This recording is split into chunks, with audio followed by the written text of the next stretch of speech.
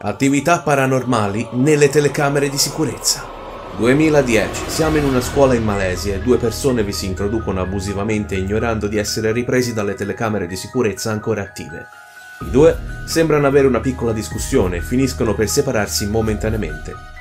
Dopodiché, l'uomo, da solo in una delle stanze, è vittima di una leggera attività poltergeist. Sedie che si spostano, schermi che si accendono, porte che si aprono.